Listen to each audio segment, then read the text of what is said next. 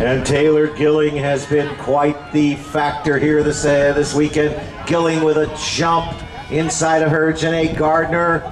That's Gilling and Gardner in lane number four. Gilling in six. Gardner in four. Now seven is Ashanti Denton.